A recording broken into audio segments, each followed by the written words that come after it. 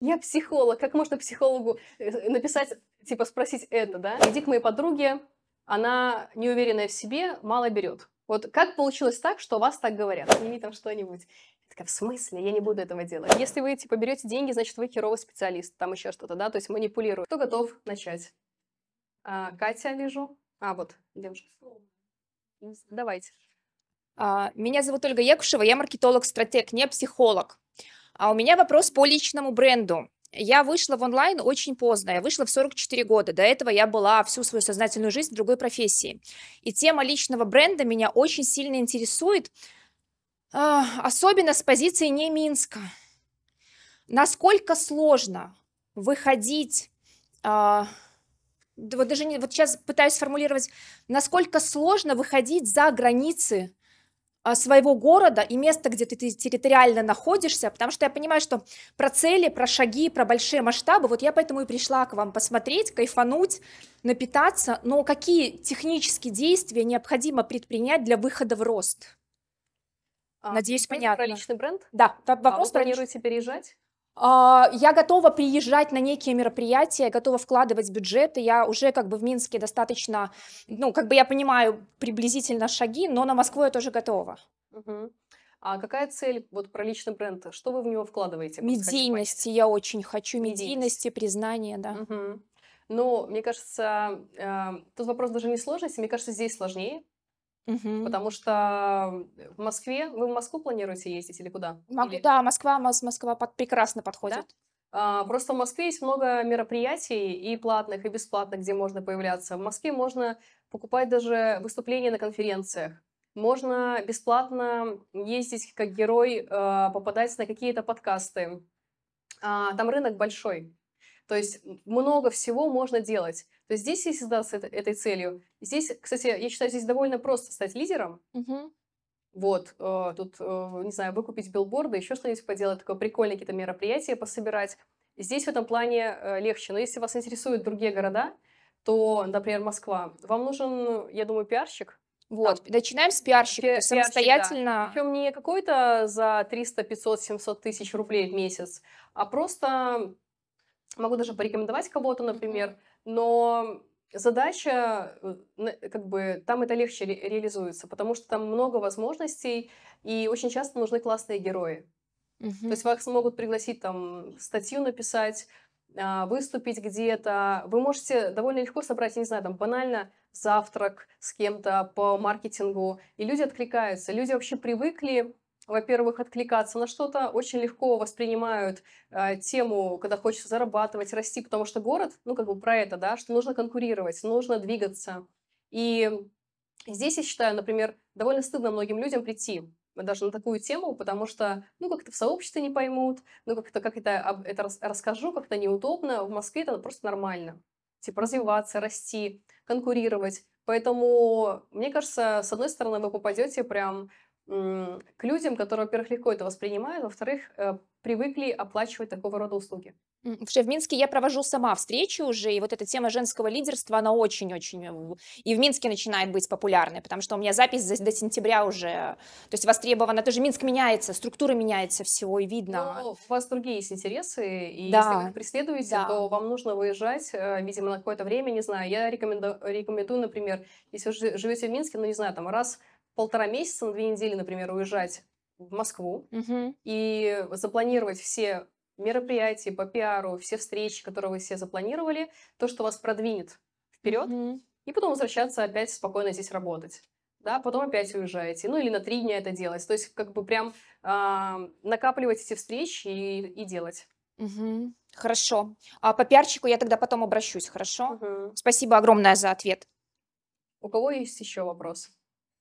Вопросы могут... Катя, вот. А, сейчас тебе передадут микрофон. Можно я вас попрошу?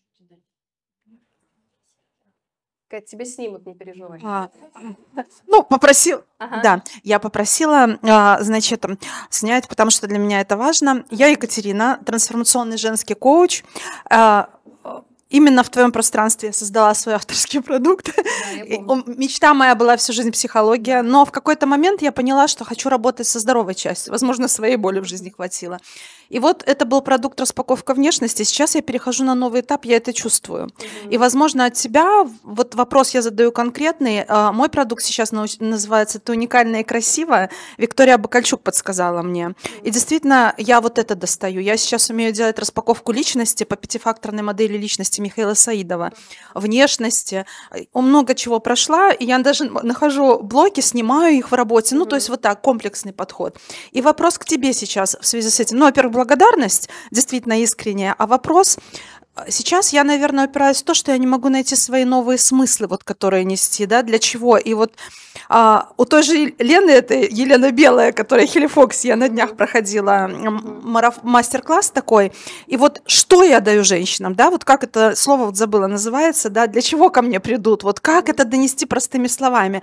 Я сейчас немножко оперлась в стену и не понимаю, может быть, вот ты мне подскажешь. И второе, меня приглашают на мероприятие в Минске уже я вела, представляешь, вот я у тебя, кстати, в клубе, помнишь, первый опыт был имидж и психология.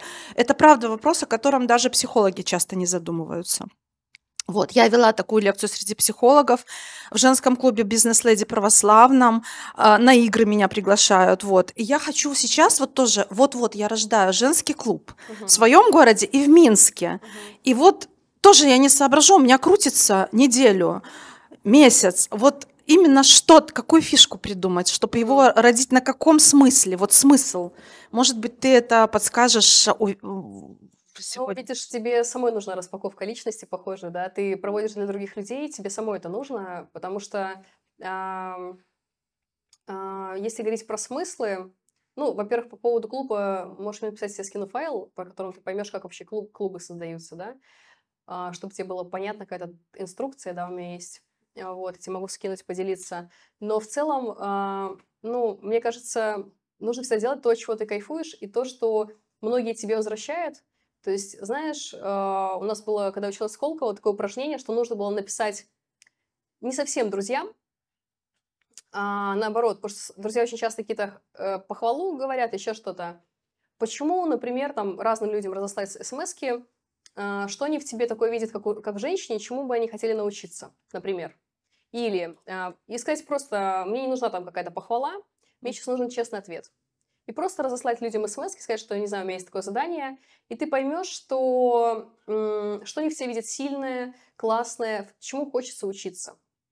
И там ты увидишь все смыслы на самом деле, потому что люди тебе это вернут, и плюс можно поспрашивать э, у клиентов на самом деле, но смотри, э, потому что клиенты могут наврать тоже, а, от чего тебя саму прет? Вот ты проснешься, и ты будешь про это вещать бесконечно, и затем ночью разбуди, и ты будешь про это, ну, говорить. Вот. И может казаться это сразу, знаешь, даже эм, странным другим людям или тебе. Или ты будешь думать, ну, я не знаю, как-то неудобно, неловко, но хочется. Э, тут важно как бы тоже себе доверять, потому что я помню, когда я такие смс разослала, я удивилась, мне многие написали, что мы бы хотели тебя видеть партнером.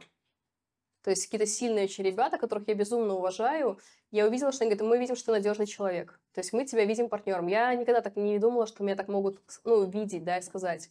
То же самое, например, про встречу здесь, да, в Минске. Я же человек, который никогда офлайн ни с кем не встречается, да, и для меня, мне казалось, ну как это странно, что я это буду делать, ну как это неловко, но я чувствую, что мне хочется.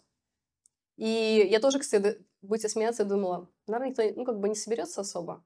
Вот, потому что в Минске как бы вряд ли кто-то придет, такие темы, еще что-то. Вот, но я почувствовала, что мне это важно. И пусть это будет немного человек, как бы, но это я просто хочу поделиться своими знаниями.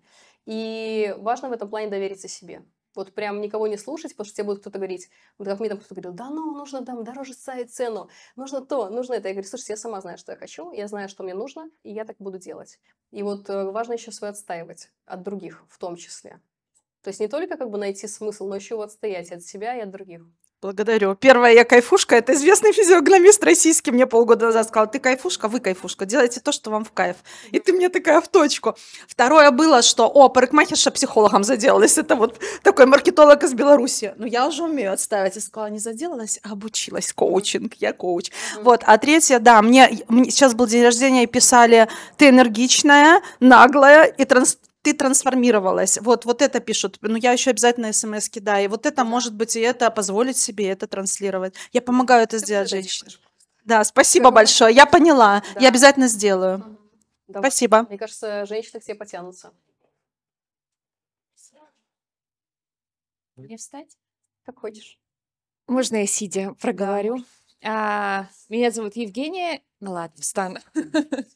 а, психолог, психотерапевт. А, маленькая реклама Наташи, да, которая за пять встреч сделала из заебавшегося психолога. Я пришла к ней с запросом на X2, и я сделала X3 за, пять встреч, и просто а, как бы это клевый специалист. А, вот. А, вопрос мой по партнерству, да, то есть э, у меня а, я сделала курс, и слабые партнеры, угу. не, но при этом злобные твари. Угу. вот, которые, скажем так, да, знают пароли от всех твоих социальных сетей, от всех твоих банковских кошельков, и мы не можем разойтись да, то есть как бы э, я сделала продукт, э, мы продали продукт, мне не понравилось, как продали продукт, но я считаю, что он охуенный, угу. да, то есть прям отзывы шикарные у тех людей, кто купил, но теперь они мне хотят, чтобы я выплатила, да, часть типа э, для того, чтобы от них уйти. И вот у меня такой вопрос дилеммы, потому что я не могу продавать продукт, да, то есть как бы, э, короче, вот у меня такая загвоздочка вышла. Договор какой-то зафиксированный где-то в зуме, в, на словах, в смс-ках, еще где-то? А, договор был, договор был, но в, я тогда, я сразу же пошла не по правильному, да, и, то есть я оплачивала и процент, и еще фиксу, да, mm-hmm. платила. Это был сразу момент. И теперь за выход, да, они мне точно так же предлагают, типа, а, процент с любых продаж, да, то есть как Этого бы... курса? Да. Mm-hmm. Вот. Э, и... Какой процент? процента он захотел 30, угу. да, то есть а, когда мы продавали было 50 на 50, угу. а, с тем учетом, что, скажем так, а, я не считаю, что там была работа на 50 процентов. Ну, это понятно, личное ощущение, они тоже могут там что-то ничего. Не-не-не, понятно. Ну, как бы нет. Все, ну, был договор, поэтому все э, это. Сейчас он хочет, что если я сама беру все права на курс и э, начинаю его продавать, его там 30%. Либо он хочет, чтобы я фикс ему заплатила, да, и вышла, да, то есть вот э, у меня такая дилемма. Ну, есть вопрос юридический, угу. которая с юристами решается, если его можно решить. Угу. Если нет, 30% а, ну, намного, потому что он не будет вкладываться ни в трафик, никуда. Угу. Вот. И мне кажется, проще, раз ты создатель, тебе проще отказаться от этого проекта и сделать новый. Блять. Но если жадность, еще жадность есть, как бы, да, то ты смотришь, а, ну, как бы по... Может быть, э, оставить сотрудничество на каком-то формате, на который на самом деле тебя устроит, и устроит эти 30% uh-huh. или меньше, и человек будет тебе помогать на самом деле в чем-то, в чем-то, например, он был хорош. Ну, uh-huh. например, в смыслах, в, ну, в каком-то контенте, еще в чем-то. Можно оставить на этом уровне. Но если ты создаешь продукты, и ты умеешь это делать, uh-huh. иногда проще создать новый продукт просто. Все. А этот сказать, да, мы его не используем. Ни ты, ни я. Вот вы знаете, за это я ее люблю, да? Вот почему-то простая идея создать, э, просто перезаписать продукт, который, да, мне не пришла в голову. Но если ты умеешь просто создавать, это будет мне будет так проще.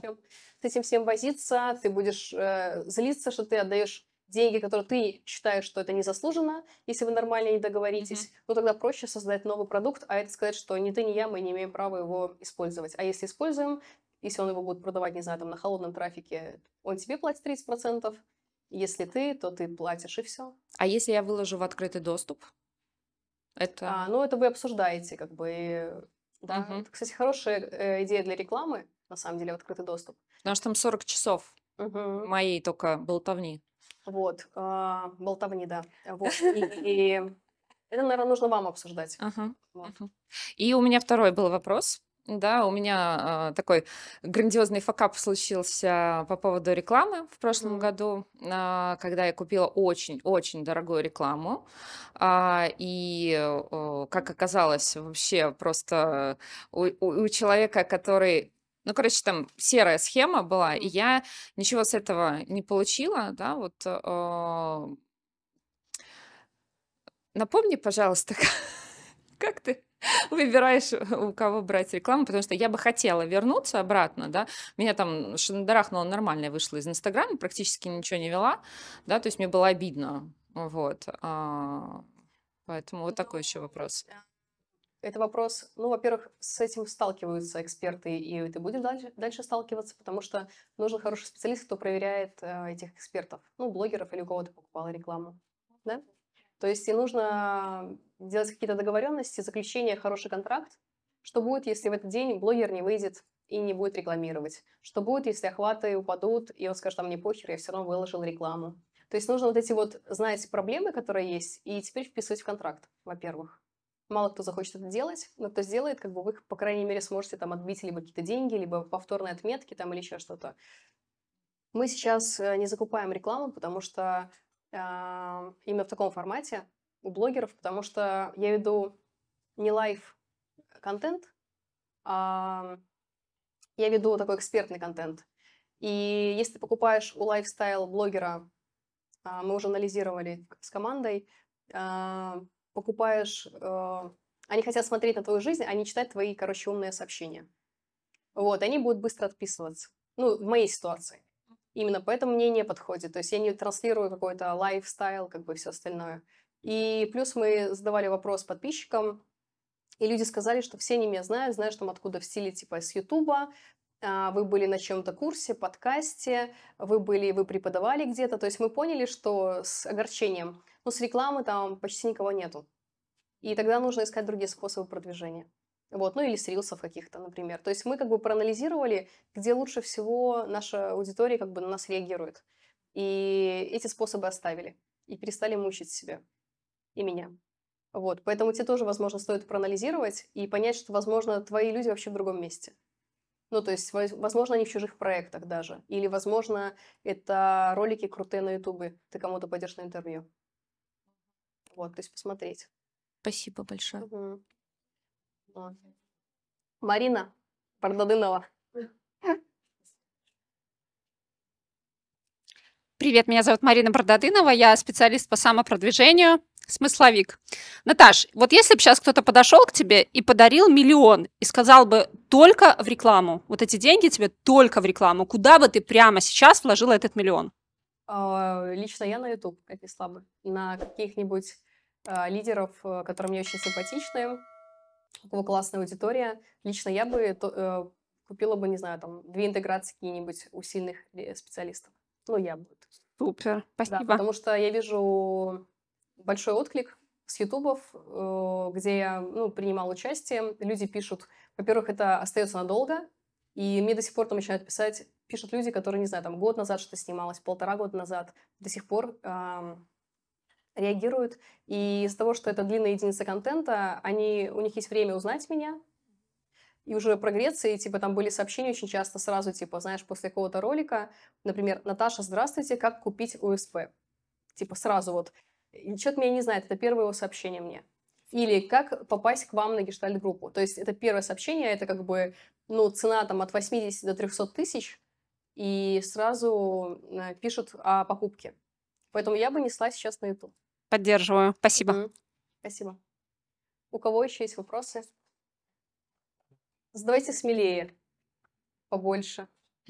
Интересно. Меня зовут Анастасия, я психолог. А, мне такой вопрос. Наташ, вот а, вы говорили про то, что ведете в основном экспертный контент, а, и мне тогда интересно, у меня есть опасения, если вести экспертный контент только, то это может как-то получиться, не знаю, сухо, и порой есть желание чем-то из жизни поделиться. Вот как найти такой баланс, чтобы и экспертно что-то делать, и делиться, или лучше выбирать? А, хороший вопрос, знаешь, это а, а, из-за того, что я так это не сделала, ну, как бы, ты говоришь, где найти баланс, потому что мой идеальный, конечно, мне команда часто говорит, Наташа, ну, пожалуйста, сними там что-нибудь. Я такая, в смысле? Я не буду этого делать, да? Но это плохо. я сейчас начала больше транслировать свою жизнь, я там где-то личную, какие-то еще моменты я вижу, а, про спорт начала показывать, там, про какие-то мотивационные штуки, хотя думаю, что это мало кому подходит на самом деле. Вот, и я думаю, что, во-первых, есть внутренний баланс, когда ты готова что в жизни показывать, а что-то нет. Я как бы всегда считала, что моя жизнь личная, как бы вообще есть границы моей жизни. и за нее там никогда никому не попасть, например, да, только там, не знаю, самым-самым-самым близким людям. То есть это мои какие-то внутренние границы. И если хочется вести life-контент еще, это круто. То есть это классно, наоборот. Но есть такие люди, называют их экспертный эксперт. Вот это я. У таких людей а, меньше охваты в блоге, но выше порой конверсия покупки, потому что, ну, ты ничего не делаешь, кроме как ведешь бесконечно полезный контент, и люди тебя, ну, как бы узнают, э, доверяют твоему профессионализму, ну, как бы, и мне самой ничего другого, в принципе, не интересно делать, мне лично. Да, мне всегда хотелось помогать. Мне когда пишут там, а что за помада? Такая, в смысле? Как мне можно было об этом написать? Я что тебе, бьюти-блогер там или еще что-то? Я психолог. Как можно психологу э, написать, типа спросить это, да? То есть я долго вообще, ну, так реагировала болезненно, что если ты мне пишешь, ну, спроси что-то про свою жизнь уже, да?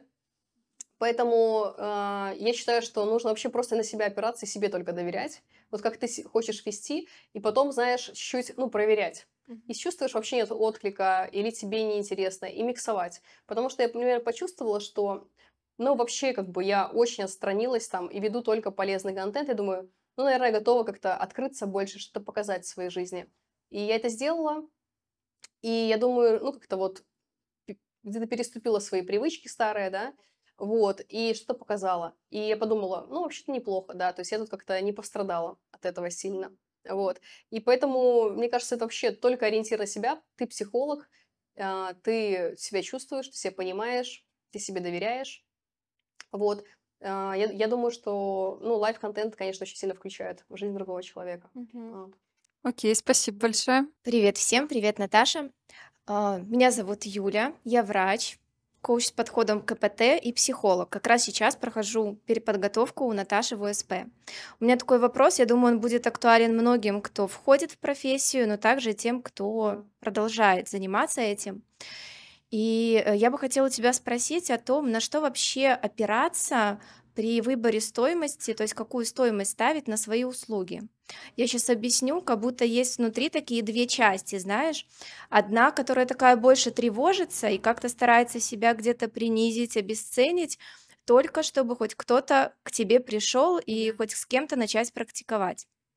А вторая, более такая устойчивая, которая присваивает весь свой опыт, который у нее есть, и которая как-то хочет поставить более достойную стоимость на свои услуги. Но страшно, что вдруг кто-то не придет, и тогда ну, как будто что я могу сделать, чтобы ко мне все-таки меня за такую стоимость клиенты выбрали. Угу. И здесь мне хочется с тобой посоветоваться, насколько я реально вообще смотрю на вещи, угу. что не воспринимаю себя где-то новичком в профессии, а все-таки присваиваю тот опыт, который у меня был и до этого в другой угу. профессии. В общем, что ты бы посоветовала мне? Спасибо за вопрос. Я думаю, он всегда актуален, и причем он актуален много раз в жизни, когда растешь, меняешься, и кажется, какую стоимость поставить. Иногда приходится менять стоимость в другую сторону, когда какие-то кризисы а, в стране, там еще где-то, и иначе реагировать, то есть э, смотреть, что еще происходит в целом. Но, знаешь, я всегда даю разные советы, потому что есть ситуация, когда я говорю, не нужно выебываться, берите просто бесплатно или там за 5 копеек клиентов, работайте, нарабатывайте практику и быстро вырастите. То есть есть такая ситуация. Но в твоей ситуации ты врач, и как бы это такая чуть голубая кровь уже, и люди не поймут, если будет, я считаю, они не поймут, а, если у тебя будет другая цена. То есть если она будет низкая, а, есть ситуация, когда низкая цена, люди тоже не идут. Они думают, какая-то херня, какой-то подвох, потому что вроде бы человек какой-то учился где-то, он а, какой профессионал в чем-то, выглядит нормально. Почему такая низкая цена? И тогда нужно объяснять, почему низкая цена. То есть объяснять, например, а, ну как-то тоже это как бы доносить, потому что, не знаю, у тебя там практика на учебе, и ты возьмешь, не знаю, 10 клиентов. Но я считаю, в твоей ситуации нужно вот опираться на ту часть, которая тебе говорит, ты до хрена училась, ты до хрена учишься, и ставить нормальную стоимость, потому что если даже не купят, смотреть на то, где твоя целевая аудитория. То есть, э, да, может быть, действительно молодечно мои консультации не купят. Но это же не повод как бы в молодечно только развиваться, грубо говоря, мне, например, да? А, повод э, смотреть на, на кто в Европе, да, наши клиенты, которые поуезжали, кто там в Москве. В общем, короче, смотреть на других людей. И все равно, как бы, я считаю, не предавать себя, помнить, типа, ну, там, если не супер какая-то завышенная цена, то есть понимаешь, что все адекватно. есть реакции, есть желание. Иногда нужно донести, если ты ведешь контент, э, донести, почему так. То есть, чтобы люди понимали. Или наоборот, чтобы они понимали, что дешево. Ну, типа, реально дешево. Чтобы было ощущение, что реальное ощущение, что, ну, повезло. Вот, поэтому, если ты раскроешь свои образования, раскроешь да, свой опыт, а, я думаю, что это классно сработает. То есть нужно выбрать и как-то вот настойчиво с этим идти. И вот если не реагируют, то выбирать другую целевую аудиторию. Смотреть, заходить в бизнес-клубы, заходить э, в разные другие места, где для людей эта цена даже низкая. Угу. Ну, для них это просто нормально. Вот, потому что такие люди тоже везде есть.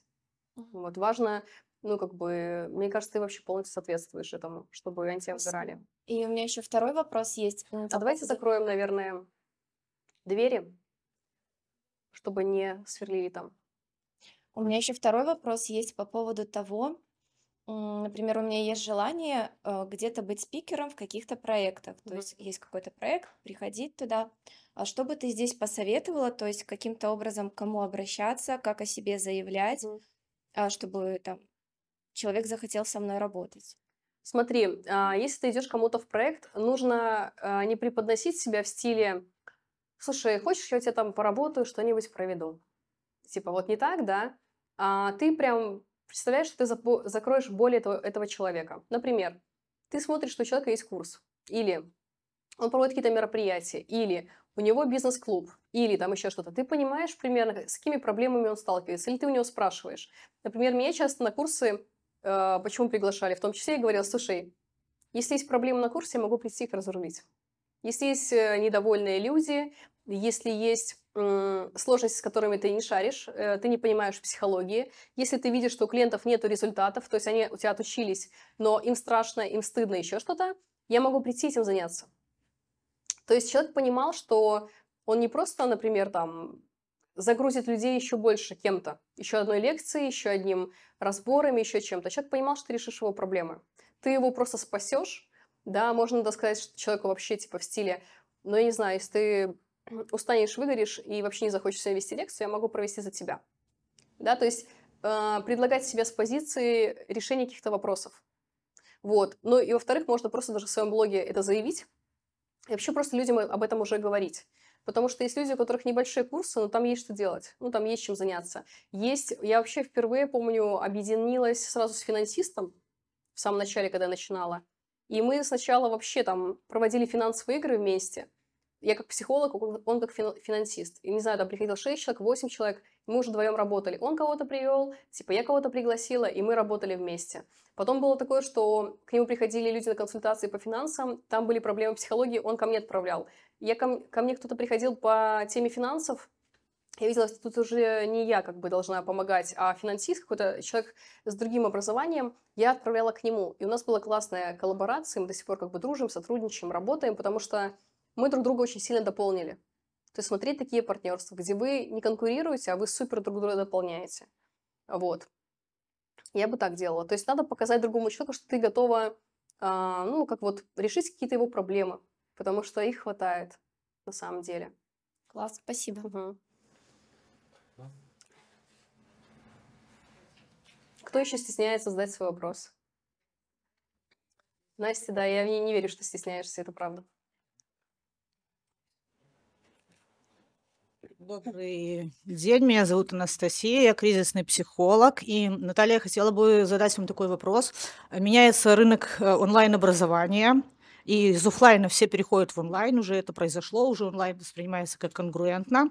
И вот в последнее время все эти разговоры, что сам вектор меняется. Ну, то есть происходит такая как перестройка.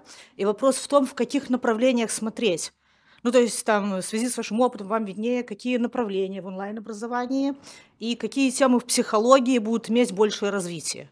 Ну, то есть если на долгосрочную перспективу, то куда направлять свой фокус? Вот примерно так. А, Именно в онлайне. Ага. А про онлайн-образование ты что имеешь в виду? Не совсем поняла. М, Вот смотрите, сейчас прошла такая волна. Раньше к онлайн-образованию относились так не совсем. Мгм. Сейчас уже все оценили преимущества. Мгм. То, что это и коллаборации, это там Мгм. лучшее со всего мира комьюнити, вот эти все идеи. И, то есть, произошла уже интеграция из офлайна в онлайн. Ну, условно, железный занавес, он уже обрушен, угу. и уже онлайн да, лизирует. Что тебя как психолога в этом интересует? И вот меня интересует, конечно, там же он будет стремительно развиваться, это самое начало. И идея в том узнать, какие сферы самые, ну, такие условно. Как психолог? Да, как психолог, какие имеют большую перспективу развития, то есть в каком ну, направлении смотреть? А, мне кажется, в принципе, есть, ты можешь посмотреть, Сбер делал тренды, а, да, Сбербанк делал, кто-то смотрел, не знаю, из вас, мегатренды, куда э, как бы направление идет в целом, что людей будет много там одиноких, да, что поговорить за деньги уже можно будет только с психологом, наверное, уже там с друзьями даже сложно будет увидеться, да, то есть мы станем там где-то более одинокими, да, а, и за счет этого, естественно, офлайн работа с психологом, я думаю, онлайн тоже, но офлайн будет дороже. То есть я так подозреваю, потому что это будет иметь большую ценность, ну, потому что это будет роскошь, да.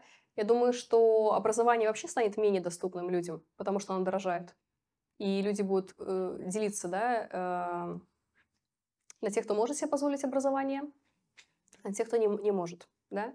Вот, и кто может позволить себе офлайн образование, офлайн будет тоже дороже за счет этого, потому что онлайн, как бы, ты можешь где-то что-то сэкономить, да, э, за счет того, что там помещение не нужно, еще что-то. И не все себе смогут далеко позволить офлайн образование, да, офлайн группы, еще какие-то встречи. Вот. По поводу тем, которые актуальны, ну, мне кажется, у тебя уже есть специализация кризисы, да, мне кажется, очевидно, что это болезненная тема, будет дальше, вот ПТСР, кризисы и, ну, как бы зависимости все, потому что, э, глядя на то, что происходит вокруг, да, ну, актуализируются все зависимые э, тематики, да, там очень много сейчас стало людей, которые употребляют, курят траву, вот на это нужно, наверное, тоже обратить внимание, если интересно с зависимыми работать и с родственниками, то есть какой-то просто бум происходит, не знаю, в России. Вот. Э, ну, в общем, зависимости, короче, любые там РПП, э, мне кажется, этим, ну, как бы это только нарастает. Вот. Потому что реабилитации, общаюсь с своими коллегами, они просто забиты. Вот. И родственники из-за этого, естественно, еще больше интересуются. У меня опять новый какой-то интерес появился в блоге женщины, которые зависим, живут зависимыми людьми, а, прям какой-то новый бум вот, появился к этому. И, наверное, круто в блоге будет, если интересно, заниматься, скажем так, э, главное, чтобы не заблокировали там, короче, э, рассказывать людям, что значит э, зависимость, да, потому что многие сейчас как бы как будто это нормально, mm-hmm. да, там курить нормально, смеси курить нормально, там все остальное. Наверное, рассказывать про это больше, а, я буду в другом своем блоге маленьком, про это больше сейчас тоже рассказывать. Вот, то есть э, заниматься просвещением в этом плане тоже классно. Вот, то есть на самом деле ничего нового прям за последние три года, если посмотреть, э, как бы эти темы просто нарастают. То есть вот. наоборот, как, да, они уходят. А... Да, еще будет тема актуальна нанимать близким пожилым родителям психолога, чтобы как сопровождающий психолог был с ними, потому что они там изолированы, одиноки, и это будет тоже такая актуальная тема. Но, мне кажется, еще лет пять нужно хотя бы.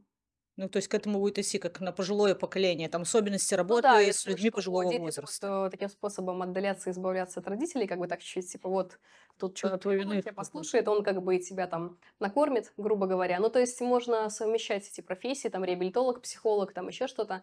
Э, будут, уверена, э, будет это использовать а, люди. Спасибо, Наташа. Угу. Кто да. готов продолжить? Давай. Сейчас, Настя, сейчас, может быть, микрофон, да, чтобы на записи было слышно. Да. Меня зовут Виктория, забыла сказать. Я психолог, нейропсихолог. Я из Петербурга прилетела Класс. с любовью. Вот. Я заметила такой тренд э, в продажах сейчас, что чтобы какой-то продукт вообще презентовать, нужно как можно больше дать вот бесплатного, да, чего-то. Ну, потому что много экспертов, в кавычках, которые там какую-то информацию дают, да, но она такая себе. И есть вот э, ну, есть лекторы, к которым можно зайти, вот как тебе, например, да, и у тебя там уже много информации, которая платная там на каких-нибудь курсах в универе. Вот. Какой процент вот этого как сказать, бесплатного материала, да, вот эта полезность э, по отношению к платному должна быть в продвижении, потому что э, я вот думаю, вот я сейчас какую-то, не знаю, там часть своего курса или какой-то программы выкладываю в открытый доступ, и кто ко мне пойдет учиться? Я же все, я уже все сказала в этих материалах, да? Вот мне интересно, как в этом... Спасибо за вопрос. Спасибо. Скажу то, что я этого не делаю, но я скажу, как лучше. Я этого не делаю. Короче, эм, я очень долго вела такой контент, супер полезный, и до сих пор это делаю. Раньше это было из позиции быть хорошей, нравится, а потом я просто привыкла. Вот. И привычка э, плохая, потому что в итоге, на самом деле, ты не можешь помочь человеку. И, наверное, поняла это год назад. Мы там с Дина, Дина оплатила одно обучение, мы пошли вместе. Там был спикер, который говорил, и я вот с ним очень согласна, что, знаете, у меня такое началось поведение, вот я заметила, там, веду эфир или еще что делаю, там человек что спрашивает, говорю, а, почитайте книгу, а, типа, ну, идите там, сходите, там, что-нибудь послушайте, а, послушайте YouTube, еще что-то. И он очень круто вернул, что на самом деле в этот момент ты не, не помогаешь человеку. Потому что он э, эм, пошел, почитал, как бы либо себя утешил, либо ему не помогло, там ни хрена, естественно, как бы, что там ему поможет, да, он почитал контент, в лучшем случае, он просто купил книгу, на самом деле, и успокоился. И он не придет решать свои проблемы. Либо проблема ухудшится, а ты опять как бы, либо он пошел к тем, кто навязчиво продавал. И все равно будет учиться, даже порой у людей хуже по знаниям, чем у нас, но он пойдет решать свои вопросы. Потому что мы не сказали, слушай, смотри вот это, делай вот это, приходи сюда, ну такую супер конкретику, да, а они такие на расслабоне, кто-то стесняется, кто-то смущается, либо вот я такой полезный, я такой классный для вас всех, давайте я как бы вам тут сделаю ну, пользы много дам. В итоге человек не решает свою основную проблему. Он получил пользу, но проблема не решена. Он как бы ушел, ну, ни с чем. Ну, как бы, да, с каким-то успокоением, но не коротким очень. Поэтому считаю, что должно быть очень много тем, которые вскрывают проблемы, а, показывают, да, а, чтобы человек задумался, присмотрелся, потому что нам кажется, что все все понимают, это, естественно, не так, да. И много контента какого-то мотивирующего, побуждающего скорее что-то менять. Вот. Или там менять с тобой, например, да.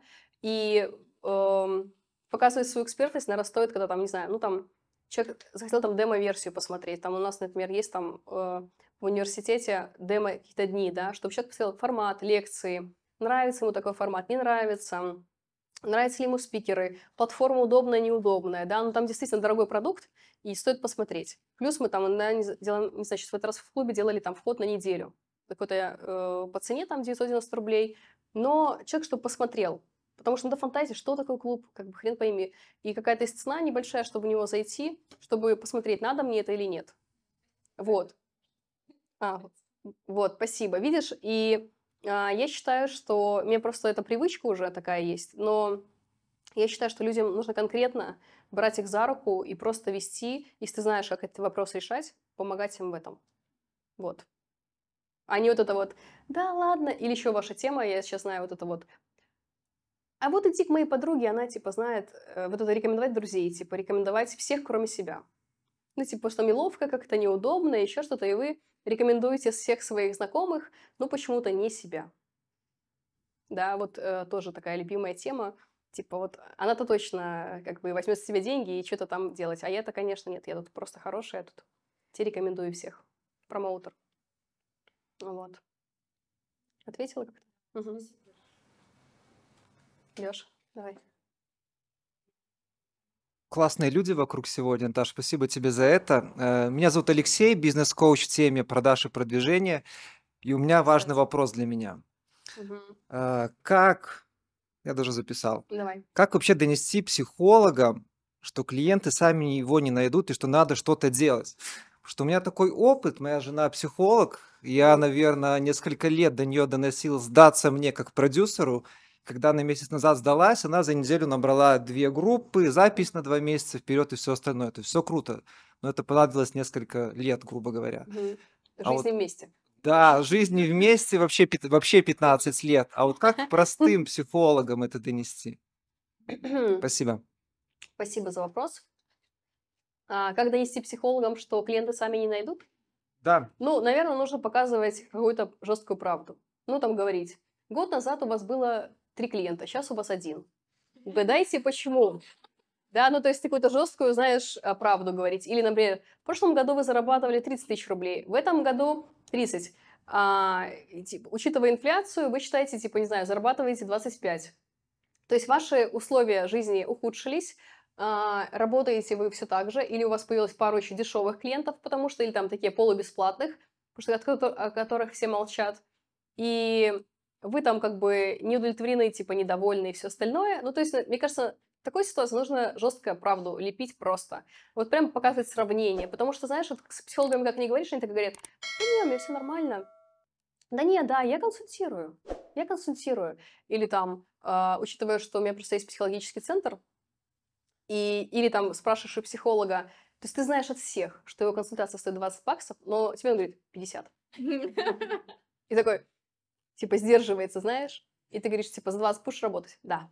Типа, ну, то есть, э, вот эти все моменты, которые они делают, просто показывать, ну, в контенте. Жесткую правду, как бы. Да, да, да, но мне кажется, тут иначе не работает вообще, потому что, ну, к сожалению, очень много таких, э, мне кажется, а, психологи вообще там как-то разделяются на несколько сообществ. Как бы одна часть как-то готовы себя презентовать и хотят как-то, может, им чуть неловко, но они как бы двигаются к этому или еще что-то, а вторая как бы, вторые такие, знаешь, делают вид, что им похер, жадные все равно, как бы все равно хотят, но как бы делают вид всем видом, что им вообще насрать, им как бы это не нужно, да, вот какое-то, мне кажется, два, если смотреть в Беларуси даже, что в России как бы попроще, люди как-то готовы двигаться, что-то делать.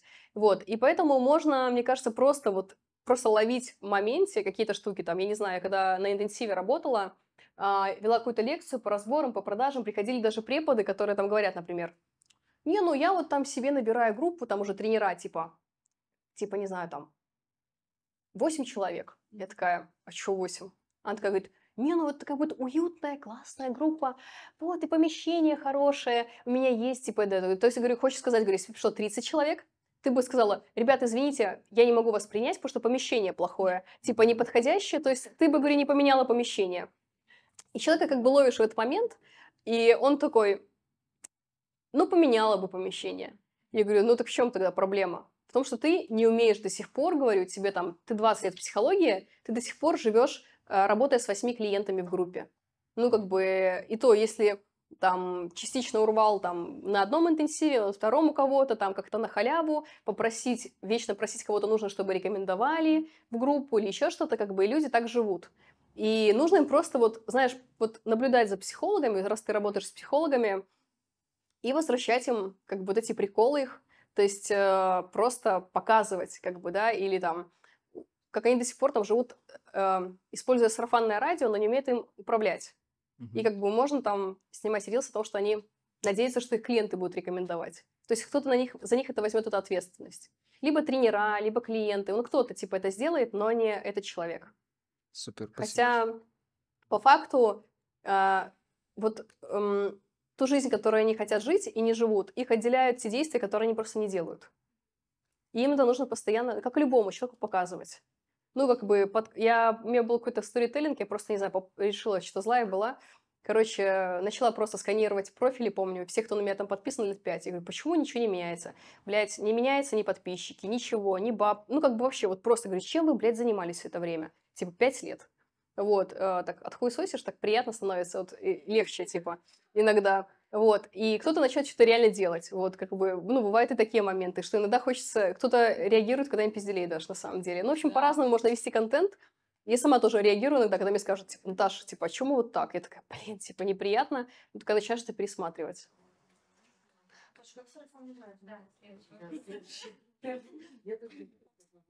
Угу. Но сарафанным радио управлять а, на самом деле, как бы, когда вы вот как вам кажется, если говорить про личный бренд, да, личный бренд – это то, что о нас говорят, когда нас нету рядом, да, в этом помещении, например, да. И как вам кажется, откуда люди, вот все, что они говорят про вас, откуда они взяли это? Вот как вам кажется? Да.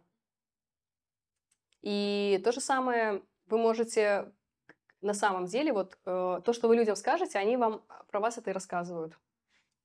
Банально вообще, что люди любят легенды, истории, да, вот сказки эти, вот все это вот мифы. Вот, и я тоже люблю, мне кто-нибудь расскажет какую-нибудь про какую-нибудь хрень, там, историю, такая, вау, классная вещь. Вот, и а, нам это нравится. И вот когда вы, вы замечаете за собой, что вы о себе говорите и что говорят о вас. Потому что очень часто какие-то наши попытки себя продвигать, это как вы, ну, э, кого-то телефон э, работает, это какие-то в пустоту, выстрел какой-то в пустоту, вот, и, э, например, почему-то о вас говорят, ну, не знаю, там, я все время шучу, типа, иди к моей подруге, она неуверенная в себе, мало берет. Вот как получилось так, что вас так говорят? Да. То есть вы говорили по какой-то подруге или еще кому-то, слушай, ну я не знаю, я вот чуть-чуть совсем недавно, там еще что-то. И она, естественно, это передает другим людям. Потому что иногда мне говорят вот клиенты, я не знаю, откуда ко мне приходят люди какие-то странные, типа за 5 копеек. Я говорю, а как ты думаешь, от кого они пришли? От моего друга. А что ты говорила, типа, ему о себе? Бля, я реально какой-то чушь, типа, там нес в стиле, там, я готов работать и просто так, потому что мне нравится, там, ну, что-то такое, типа, потому что уже там можешь много чего наговорить. И в общем, про вас могут говорить, там, иди к нему, а, я не знаю, его жена дома бесит, он все равно ищет любую подработку. Или там, иди к ней, у нее мужик нормально зарабатывает, поэтому она не берет с клиентов денег. Или иди к ней, она духовный очень человек, вот, она а духовные люди, ты понимаешь, вот они такие, типа, особенные, и ну, ты понимаешь, она вот настоящий специалист, она много не берет. Да, вот потому что она людям хотела бы помогать. Да, нет, это вот все. Вот, потому что часто говорят, типа, а как же помощь людям? Э, если вы, типа, берете деньги, значит, вы херовый специалист, там еще что-то, да, то есть манипулируют. То есть ваш личный бренд может быть такой, что, я не знаю, ой, она только отучилась, вечно учится, все никак не выучится, вечно что-то там стажируется, иди к ней. Или не иди к ней из-за этого. Или когда сидят с вами, ну, как бы ваши подруги, ваши, например, друзья, почему-то вас не рекомендуют, потому что вы все время говорите, меня заебали клиенты, я, блядь, когда их вижу, меня уже тошнит. Когда они приходят на сессии, я думаю о том, что, слава богу, я хоть отдохну. Или там, э, неважно, клиенты, любые ваши клиенты. То есть вы, когда рассказываете своим друзьям, как вы, ну, от них устали, выгорели и там заебались, да, они же потом такие думают, кому отправиться, говорят, нет, мне не надо, типа, это просто опозорю себя. То есть вы обращаете внимание, во-первых, что вы говорите другим людям. Вот прямо отслеживайте за собой, что, ну, что вы им говорите. А во-вторых, можно всегда сказать, ну, например, типа что-нибудь. А вы там с кем-то знакомитесь, еще, еще что-то, еще что-то. И вы прям говорите о себе, там, не знаю, ой, там, вы представляете, говорите, а мне обычно, про меня говорят, что, я не знаю, если проблемы с бабками, то только к Наташе. Человек запомнит, ну, например, или там проблемы, там, я не знаю, там, грубо говоря, с сексом, только там к Маше. Про меня вот так всегда говорят. Мне это неловко говорить, типа, но реально почему-то меня так люди запоминают. Вот это прям говорите им. Или я там, не знаю, говорю, меня все называют гением, куда бы я ни приходила. Вот. И как бы, и, да, да, да. Да, да, да. То есть вы э, всегда можете что-то закинуть, да, и о себе, чтобы э, как вы ассоциировались у других людей, потому что вы же только на это влияете. Если вы молчите, ну, оно так и будет, ну, как бы ничего не будет. Или там вы говорите, так невзначай, там собра- собрали клиентов и говорите, типа что-нибудь в стиле, да и вообще, типа, у меня вся полная запись, потому что клиенты всегда как-то рекомендуют своим друзьям. Ну, типа, и а, человек, во-первых, понимает, что, блин, реально гениальные идеи можно же рекомендовать. Реально люди иногда не понимают, что можно вас порекомендовать. Они реально, ну, как бы боятся, стесняются очень часто. Вы просто им, как бы, ну, говорите, что это можно делать. Ну, просто вот другим способом. Вот. Во-вторых, а, они часто фантазируют, что там полная запись, еще что. Но вы-то знаете, что окошко всегда есть для особенных людей. Вот. И, и ну, вы как бы говорите о том, что, ну, вот, можно. То есть вы просто вы должны начать управлять своим словом. А, я слышала до официанта а, в Москве, он мне говорит, там типа, а чем вы занимаетесь? Я говорю, ну, обучаю психологов. Он говорит, знаете, у нас такая ситуация, у нас тут один официант, короче, официант, официант, а завтра же такой, я психолог. Я говорю, ну, он просто учился и скрывал от вас это. Проблема, говорю, в том, что он учился на самом деле. Ну, они типа угорают, что он дурачок, он типа сегодня стал психологом. На самом деле человек учился, молчал как честный, скрывал, стыдно ему было, что он учится, да, потому что это же очень стыдно, правильно, учиться. Вот, и человек скрывал, и поэтому потом с вас угорают, на самом деле, когда вы скрываете, чем вы занимаетесь. Вот а, проблема еще в этом, когда вы долго скры- скрываете, что вы чем-то очень сильно увлечены, что вы очень сильно что-то любите. И потом человек такой, когда он уже год-два слышит о том, что вы чем-то увлеклись, он уже запомнил. И когда вы фанатично про это рассказываете, когда говорите, да вообще не знала, что я могу полюбить эту психологию. Я думала, что там, ну, это нереально, как бы, да, это странно, типа, это полюбить. Я же как будто там, не знаю, что ли, как бы больная или что там, типа, ну, вот вы можете это прям проговаривать людям и говорить, ну, я понимаю, что вот, конечно, мои клиенты куку, но я их люблю, типа, да, вот, ну, как-то вот честно, да, и ваши друзья будут знакомые в контенте, неважно где, они будут постепенно привыкать что вы чем-то увлечены. Неважно, что это. Это психология просто самый легкий пример для меня сейчас, да. Чтобы это не было. То есть они к этому привыкают. Потом они видят, как вы относитесь к своему делу, потому что вы следите за своими словами. А супервизору и психологу говорите, что думаете и чувствуете в данный момент. Вот. И а, они начинают говорить там, неважно, Вася круто любит дерево, он круто делает кухни. Я видел, как бы, как он этим увлечен, хотя он работает, совсем другим занимается. Или там, да, она вообще, оказывается, там круто что делает, не знаю, там, неважно, ноготочки, брови, она это любит, просто скрывает, ей, типа, неловко. И всем понятно, типа, ну, неловко, всем неловко что-то, да? Вот. И второй момент, на чего я начала, не разрешать другим людям обесценивать ваши дела. Никогда, вообще, знаете, вот вам говорят там, ай, какая-то херня, и вы такие, а, да, типа, вот этим вообще не заниматься, типа, не делать вид, что вы не слышали, не делать вид, что вы как бы там проглотили, дать им пиздюлей в ответ. Просто, типа, да, поставить их на место и сказать, что, ну, типа, мне неприятно, что ты говоришь о том, что я люблю. Ну вот, нужно отстаивать то, что любишь, я всегда за это как бы топлю. Неважно, это там близкие люди ваши или вы, или ваша профессия. А, если вы будете отстаивать, другие люди будут это уважать. Потому что они перестанут насмехаться, и, может быть, ну, иначе э, к этому, во-первых, сами отнесутся, но, во-вторых, вы как бы, ну, покажете, что вы цените то, что вы любите ну, чем занимаетесь. И это очень важно. И это тоже про ваш личный бренд. Вот. Ну и то же самое, когда вы сегодня скажете кому-то, что вы ходили на лекцию, и с вас будут там шутить, угорать, типа, какие продажи, какое что, псих... Как бы вы должны просто... Это же ваше дело, там, ваше время, там, еще ваш интерес. Вы сами должны как-то придумать, как вы себя будете отстаивать в этот момент. Чтобы это кодекс по ты психолог про продажи. Да, да, да. Но, к сожалению, если бы не было продаж и всего остального, кли... ну а как клиенты тебя узнают? Да, это внутри, да? Конечно. Нужно думать, у кого учишься. Вот. Выбирать, у кого учишься, и ну, думать об этом. Или как-то очень сильно там расщепляться и как-то вообще не слушать полгруппы или всю группу. Хорошо, вспоминаем тогда психоаналитиков. Они все закрыты, угу. они себя не продают. Уже многие даже из Англии э, онлайн-сессии ведут с моими друзьями. Но они так вот же не позиционируют себя вот э, прям свою жизнь показывая. Смотри, э, да. Если ты хочешь найти пример, кто себя не показывает, ты их найдешь. Если ты хочешь найти поддержку в том, чтобы себя показывать, ты найдешь обратную сторону.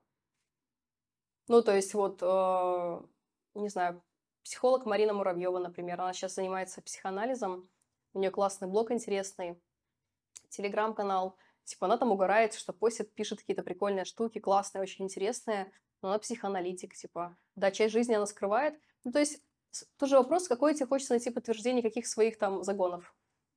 Да, то есть если тебе хочется закрыться как-то, ты будешь вспоминать кодекс, там еще что-то себе говорить, там вспоминать одногруппников, э, чьи-то слова еще, там бабушку, как она тебе говорила, не нужно высовываться, там еще что-то.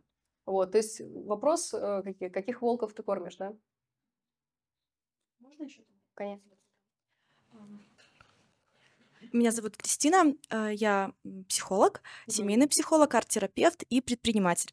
И я хочу задать вопрос, наверное, с позиции предпринимателя к тебе как, как предпринимателю. На каком этапе э, своего развития э, ты начала собирать команду и делегировать некоторые процессы? А, Да, вот про команду, потому что я как предприниматель и имея несколько оффлайн бизнесов за спиной, э, понимаю, что процесс надо делегировать, что команда нужна, а вот как психолог я одна и не понимаю, да, вот на каком этапе нужно вот набирать команду. А, Действительно классный вопрос, потому что у меня все время с этим... Ну, во-первых, э, видишь, у тебя больше опыта, когда ты сейчас начинаешь, чем я тогда, потому что я была психологом, и а, психолог, он работает с собой. Предприниматель, он нанимает других людей. И в этом плане круто, когда у тебя есть разный опыт, потому что, знаешь, я могла делегировать только тогда, когда заебалась. Когда устала, когда сейчас помру, вот тогда я себе позволяла кого-то нанять. То есть у меня сначала через это происходило. То есть я понимала, когда, знаешь, я все, сейчас помру, я тогда кого-то искала. Так я ну, была полностью убеждена, что я должна сама как-то это все разрулить. Ну, как психолог. Ну вот. То есть я не воспринимала, что я предприниматель уже на самом деле в чем-то. Вот. И важно понять, из каких там ролей сама смотришь, потому что если говорить про психологию, то ну, в какой-то момент появляется ассистент, когда ты уже не можешь вести запись. Вообще никак, когда уже завал полный. Или ты ведешь контент, у тебя нет времени его вести. Ну, то есть э, контент важно вести, но ты понимаешь, что ты на сессиях, ты на учебе, контент ты вести не можешь. Тебе нужна группа, куда ты надиктовываешь контент, и кто за тебя его публикует. Неважно, куда, да, в телеграммы, а еще кто-то. Либо ты нанимаешь человека, который за тебя на тему семейной терапии ведет контент классный. Либо тебе его готовит, а ты приходишь, там, не знаю, аудио записываешь, видео, рилсы или еще что-то. То есть ты понимаешь, что тебе нужна в чем-то помощь, просто ты банально видишь, что ты это не тащишь. Ты все время эти задачи пропускаешь. Ты все время не публикуешь посты. Ты все время, не знаю, там, обещаешь себе снимать YouTube-ролики, но почему-то ни одного еще не вышло. Либо вышел один, как бы на этом все закончилось. Ты понимаешь, тебе не хватает ни мотивации, тебе не хватает помощи. Если бы у тебя был готовый написанный текст, наверное, ты бы его прочитала. Да. И ты тогда понимаешь, похоже, мне нужен человек, который занимается контентом. Мне нужен психолог, профессионал, типа, по семейной терапии, например. Или по коучингу, или там на вашу любую тему. И он вам готовит материалы. И сразу возникает вопрос. Ага, а если вот у меня есть девочка, там, сценарист, смысловик, и я вот задала, например, какую-то тему по семейной терапии, и вот говорю ей, а, она говорит, начинаем писать посты. Я говорю, да, начинаем. Говорю, ну ты подожди, сейчас я тебе надиктую то, как вижу я, а потом ты тогда отредактируешь. И я не надиктовываю, потому что у меня клиент. Да. потому что- Ну, это вот, это полная хрень, как бы, когда ты себе, ну, рассказываешь, что ты сделаешь это, ты видишь, что ты не тащишь. Ну, как бы не можешь ты. То есть отдаться ей, как бы, вот пускай... Не ей, как бы она же не шарит психологии. Чё ты, кому ты отдашься? Она может писать посты, в лучшем случае, если она что понимает в SMM, а, про это. То есть она не может писать себе контент. Люди, которые на вас работают, не психологи, не могут писать контент психологический. Вы должны найти в своем сообществе профессионала, э, какого-то фаната-ботаника, который обожает писать тексты, любит это дело и будет готовить вам контент. А ты будешь в лучшем случае, когда будешь его рассказывать, адаптировать что-то под себя, если ты считаешь это нужным. Иначе не будет ничего. Ну, то есть ты должна понять, либо ты а, публикуешь этот контент, либо никакого. А это плохо для тебя. Вот, то есть а, я никогда этого не знала, но сейчас вам рассказываю, что контент, оказывается, можно кому-то делегировать. Вот, для меня это было открытие когда-то жизни. Опять же, не девочкам SMM, а именно Ни девочкам, ни мужу, ни подруге, только профессионалу. Потому что это твое лицо, это твой личный бренд. Да? Мгм. Здравствуйте, Наташа. Меня Ольга зовут, я аккредитованный гештальтерапевт, учусь на третьей ступени. В прошлом врач, аж дважды у меня два высших образования. Вы тут отзывались доктора, я подумала, надо тоже легализовать, переварить, что у меня их два. А, У меня тут э, несколько вопросов я записала. Хочу вас тоже попросить э, контакты пиарщика. Я готова ездить в Москву на три дня, на две недели, на неделю. Очень загорелась, мне стало очень интересно. Хочу медийности, славы, денег. Класс. А, Уже да. про это признают. И, Ну, более того, да, я деньги люблю, люблю возможности, которые они дают, и э, совершенно вот прям, прям об этом говорю, за что часто меня не любят. Ам, Хочу больше. Хотя я довольна Да, тем, сколько я зарабатываю, да. Ам, И э, у меня тут пару вопросов. Вот я в этом году сделала психологический курс восьминедельный. Там было несколько форматов участия. Один просто лекционный, один с группой, один индивидуальный, куда входила лекционная часть, э, групповой формат работы и индивидуальная работа. Продавала я его два с половиной месяца. Скребла туда людей, денег заработала я довольна. Я бы его в этом году провела еще раз, но я как вспомню, как долго я скребла на него людей, что мне вот в этом месяце начинает падать мотивация. Можете ли вы порекомендовать? А, Вопрос такой, может, несколько а, туповатый, то есть где брать этих людей на продажи, вот как обычно э, говорят э, продажники, доноси ценность через блог. У меня есть подозрение, что у меня, вот я вас сегодня слушала, что у меня в блоге, да, аудитория половина в целом, наверное, мертвая, половина уже, наверное, Не обновлялась, да? Э, Да, она не обновлялась. И я запускала рекламу в Инсте, брала где-то рекламу пару раз у блогеров, но вы вот рассказали мою инста-жизнь очень коротко сегодня, что лайфстайл блогеры, от них люди приходили, но поскольку я не выкладываю свои чай и кофе, блины бесконечно, попу и все остальные части, в течение месяцев двух они отписывались, Мгм. потому что они Ну да. видели, да, умные ви- мысли, рассуждения, ну, иногда Да, блины. надо было продавать в первый месяц. Да, давали. да, вот. И эм, чтобы продать вот мне еще раз этот курс, потому что я бы заработала еще раз столько денег с большим удовольствием.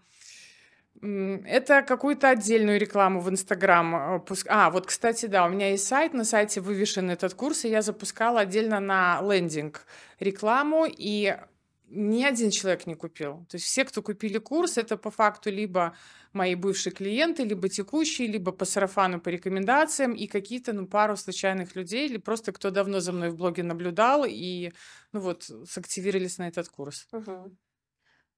Поняла. Но смотрите, по поводу а, лендинга, продаж, что мне купили, а, вам нужен человек, который работает с холодной аудиторией. А, Если это отдельные люди, кто занимается трафиком холодным, и они знают, как настраивать там лендинги, рекламу, а, какой должен быть лендинг, он совершенно ну, другим порой должен быть, а, в отличие, когда теплая аудитория, да, то есть другие люди, которые уже вас знают. И судя по тому, как вы продавали, вы продавали лично, да? Я выкладывала в сторис, э, зачем этот курс, ссылку на лендинг. И в целом я каждого собеседовала. Вот, то есть эм, люди покупали, которые заходили в какой-то до этого более дешевый продукт, я так понимаю, да, или с вами были лично знакомы?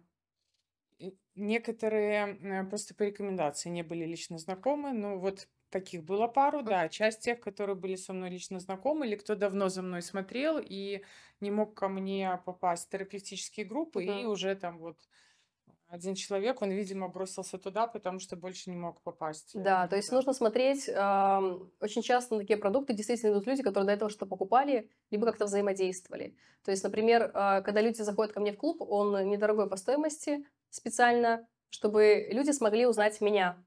Потому что узнать где-то меня очень сейчас сложно, потому что, ну, я чуть другим занимаюсь, и я веду, например, какой-то контент в сторис, там еще что-то, но нет такого, как бы посмотреть полноценно, познакомиться с моими знаниями. И тогда а, кто-то смотрит мой контент в клубе, например, да, и дальше хотят куда-то. Кто-то к психологам, кто-то на какие-то курсы, кто-то, не знаю, там, менторство, кто-то а, на учебу, кто-то гештальт, там, неважно. И это место, где в том числе люди узнают меня.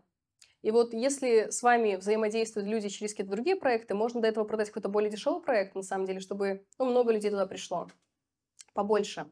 А из него уже дальше двигаться, да, к вашему другому проекту. Вот. А, Либо я бы делала, если у вас есть желание общаться с людьми так много, бесплатные консультации, диагностические сессии. Хорошо бы э, научилась с них продавать. То есть я бы прям писала, что а, есть проект, есть что-то, кто готов ко мне прийти, а, записывайтесь на бесплатную диагностическую консультацию, не знаю, там, 20-30 минут, какую-нибудь короткую. И прям нужно держать тайминг.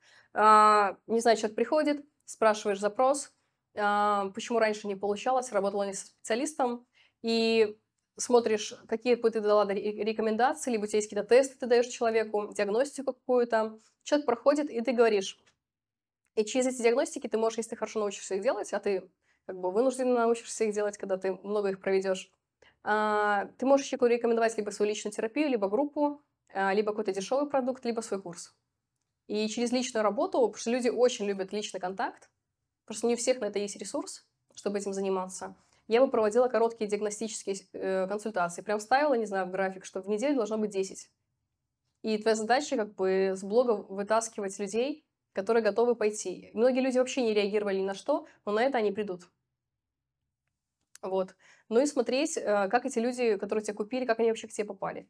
И активизировать где-то а, это сарафанное радио, либо какие-то рекомендации, либо где-то начать появляться в Беларуси, даже не уезжая там куда-то, на какие-то попадать наши ресурсы. А куда можно здесь попадать? Я готова. Ну, тут мало э, что осталось, я так вижу. Какие-то газеты, журналы, я не знаю, там, ну, э, ты же здесь живешь, тебе, мне да. кажется, намного актуальнее это знать. Да хоть билборд вон купи. Ну, то есть, э, как бы, как и везде, ты хочешь билборд? Я тоже хочу билборд. Тут есть какие-то... А что на нем В Беларуси есть ограничения. Ну, там можно ссылку на телеграм-канал свой по штрих-коду, да? Инстаграм нельзя? Не знаю. Как бы, может, может, может. А, что-то есть по рекламе здесь в Беларуси. Я узнавала про поводу билбордов. Там есть какие-то ограничения по рекламе. Вот я не помню, какие. Либо личные, либо проект, когда рекомендуешь. Мы хотели купить в центре. Но именно на проект, кажется, я не помню. В общем, надо узнавать. Наташа, я бы вам еще один вопрос хотела задать. Он перекликается чуть-чуть с курсом, тоже про набор людей. А, я дозреваю начать преподавать э, гештальтерапию, и я не хочу вести 6-8 человеком в камерной обстановке. Мгм. Вот как или где продавать, это тоже какие-то медийные ресурсы, или это запускать рекламу? Вот ваше мнение, какие Ну, способы а, лучше? у- ваш же аккаунт в Беларуси э, зарегистрирован, да, геш... Да. э, этот Инстаграм, да? Да. То есть у вас есть возможность рекламу закупать, эм, ретаргет, таргет, Да. типа вы свободны вообще, у вас развязаны руки. То есть вам просто нужны специалисты, которые... Смотрите, вот ва- ваша задача, на самом деле, что сделать? Сделать себя видимой. И вот просто подумать, как я могу стать более видимой. Неважно, завтра вы решили а, собрать людей в Минске бесплатно, сняли какое-то помещение, либо взяли какой-нибудь, не знаю, ДК э, бесплатное на какую-нибудь тему. И просто рассказываете какую-то лекцию, там, не знаю, с, с этой лекцией знакомитесь людей, тоже там им что-то продаете. То есть потом услышали, что можно, не знаю, в газету попасть как герой, типа вписались, на радио вписались, вспомнили знакомых. То есть в любом, то есть вот задача, почему а, мне не хватает там видимости, что я для этого как бы не делаю. Любую, там в Инстаграме своя, рилсы, реклама, да, а, оффлайн, на какие мероприятия там, блин, нужно напроситься кому-то выступить, или там а, договориться выступить, или оплатить выступить, или в Беларуси проходят конференции, огромные причем. Я вижу, просто они по маркетинг, маркетинг а, там, я не знаю, вообще в бизнес-клубах какие-то вечно организовывают, там дофига людей собирается. И на эти площадки же как-то попадают люди, их же можно, оплачивать и попадать туда, скорее всего, правильно? То есть просто задать себе вопрос, как бы, что я делаю, чтобы быть видимой? Мало что. Типа, а что бы я могла делать? А что для меня реально делать? Иногда, на самом деле, нужно вообще поднять свою телефонную книжку и подумать, какие есть контакты, кто где работает, и вообще, как куда можно написать, и даже знакомым а на какие-то проекты попасть, на самом деле. Кто-то откажет, а кто-то это что-то посоветует. То есть вопрос вообще везде, своей видимости. Мгм. Спасибо. Мгм. Ну что, есть вопросы еще? Оксан, давай. Спасибо. А, Наташа, во-первых, спасибо, что я здесь сегодня. С ума приехала. А, да, но я опомнилась поздно. Да. Да, и у меня два вопроса. Первый это про группу. А, у меня есть э, в личной терапии клиенты, и мне написали две женщины а, с просьбой набрать группу в Могилеве оффлайн. И знаешь, у меня такая фантазия, ну а вдруг придет 4-5 человек, если я начну продавать. Скажи, будет динамика, если даже я запущу группу для пятерых? Ну, я думаю, что можно всегда еще кого-то пригласить, если что-то, как бы мало людей. Мгм. Вот, там иногда наши бывшие клиенты хотят в группу. э, на самом деле, им хотелось бы другой формат. А, мне кажется, будет сложновато, но можно кого-то еще просто пригласить. Маловато, да? 4-5 это Ну, маловато. наверное, есть у кого-то опыт, кто вот вел и нормально было. Да? Но просто бывает, что еще там один человек отвалится по пути, как бывает еще такое. Да. И такой прям думаешь, блин, ну не вовремя, короче. Мгм. Вот, поэтому, эм, мне кажется, не нужно вообще переживать, нужно в моменте решать проблему. Да, Вот хорошо. ты себе не ставь цель набрать 5 человек. Просто не ставь такую цель. Ставь цель 10 человек. А наберешь меньше 8, как бы, и тогда будешь с ними... Ну, то есть не ставь маленькую цель себе. То есть ты вообще себе вот скажи, я вообще не понимаю, нет такой цели, типа 5 человек, 4. Мгм. То есть э, сразу ставь себе другие задачи. Да. сама себе почему-то поставила цель, там, типа 4-5 человек. Ну, мне две написали, идею подкинули, и как бы, ну, Типа, а найдите еще двух подруг, и тогда я сделаю для вас группу. Правильно? ясно, поняла. Ну, это твои усилия, да, то есть э, ты такая подумала, так, две написали, две хотят, а, кто-то из клиентов говорил, что они хотели бы тоже, например, кто-то там один, потом ты такая думаешь, сейчас я проведу бесплатные диагностические консультации в блоге, и из 20 лю- человек продам троим, например, потому что проведу их хреново, как бы так, ну, так. Я поняла, откуда у меня эта идея. Вот сейчас по ходу вспомнила. У меня клиентка, она у меня в личной терапии, она ходит в группу в Могилеве, и там в группе 4 человека, и там как бы уже психологи с многолетним стажем, ко-терапевты, два, набрали 4, и я такая, вот, наверное, вот отсюда у меня вот эта мысль, типа, Ты равняешься на лучших, я поняла. Вот. а, В общем, можно набирать группы больше. Больше, чем популярные психологи в Могилеве. Вот. И твоя задача просто смотри, ты должна мыслить, откуда эти люди придут. Значит, э, ну, например, типа, троих ты, например, из блога, двое уже написали, там, типа, знакомым ты им рассказала, где-то выступала, рассказала, в чатах ты состоишь. Это онлайн будет группа? Офлайн? Оф. Мгм. в чатах, которые состоишь в Могилеве, резко на чаты подписалась. Вот, э, там себя прорекламировала. В блоге всякие там, типа, которые есть, кто ведет блоги в Могилеве. Напросилась на рекламу, резко почему-то захотелось тебе. Потом, ну, то есть ты делаешь максимум действий, и ты думаешь, так, здесь я могу теоретически получить два человека, здесь одного. То есть ты должна подумать, где ты их найдешь. Ну, грубо говоря, где они могут быть. Кто может отреагировать на такой формат работы. Да, все, поняла. Инстаграм это не единственное место, где можно искать клиентов. Мгм. Окей, спасибо. И второй А, вопрос. рилсик сделала там, ну, в общем, все сделала. Мгм. И второй вопрос у меня. а, Мне очень понравилась твоя идея по заданию из Сколково. Ам, Какой вы меня видите? Спрашивать у знакомых. Я хочу у тебя спросить, какой ты меня видишь? Так я же тебя вообще впервые вижу. Второй раз. Тре- Третий раз. А, ну, э, какой? Э, Настырный, смелый, как бы, потому что я помню твои какие-то реакции, там, смело там приезжала в Москву. Мало кто из Могилева вообще выбирался в Москву за всю жизнь, наверное, вот. Э, Там приезжала, активно участвовала, я помню. Ну, как-то заявляла о себе. Вот, потом всегда заявляешь активно, когда я что-то веду, я вижу, ты все время пишешь. А, то есть ты готова, видно, себя презентовать, продвигать. Ну, то есть ты как-то так очень активно, ну, так настырно это делаешь. Поэтому смелой, э, настырной вижу точно. Спасибо. Спасибо.